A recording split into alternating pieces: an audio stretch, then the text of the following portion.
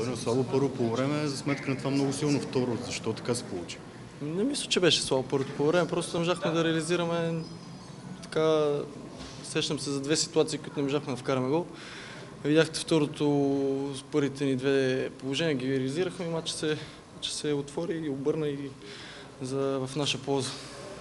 Имаше ли нещо от матча с Франция, което ви тежеше през първото по време, че, защото през второто бяхте коренно различни?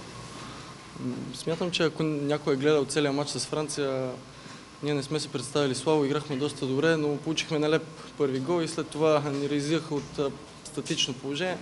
Не можахме да отвърнем и за това, но мисля, че в матча с Франция не се представихме слабо. Изгубихте доста точки тази победа днес. Ще ви вдъхне ли самочувствие и може да се мисли евентуално за второто място?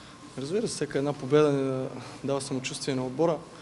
Има още матчове, надявам се да спечелиме някое гостуване. Домакинските матчове не са ни задължителни и когато остават 2-3 матча, тогава ще говорим.